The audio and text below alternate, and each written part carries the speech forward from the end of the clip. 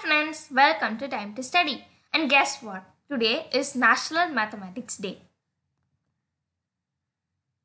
About Mathematics Day. India celebrates National Mathematics Day on December 22 every year. This day is celebrated to recognize and praise the work of Srinivasa Ramanujan. Manmohan Singh, former Prime Minister. This was announced by Prime Minister Manmohan Singh on 26 February 2012 at Madras University to mark the 125th birth anniversary of the Indian mathematician Srinivasa Ramanujan. Ramanujan had almost no formal training in pure mathematics. He has made substantial contribution to mathematical analysis, number theory, infinite series and continued fractions.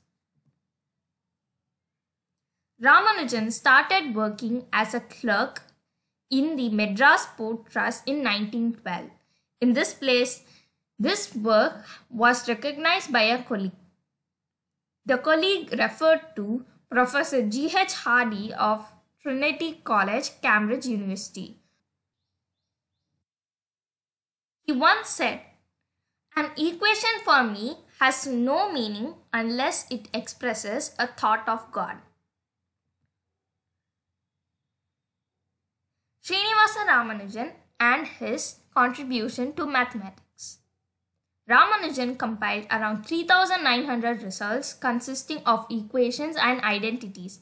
One of his most treasured findings was his infinite series for pi.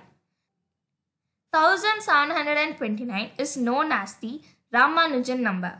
It is the sum of the cubes of two numbers, 10 and 9. For instance, 1729 results from adding 1000, the cube of 10, and 729, the cube of 9. He discovered a long list of new ideas to solve many challenging mathematical problems which gave a significant impetus to the development of the game theory. So thanks for watching. Please subscribe to Time to Study and bye.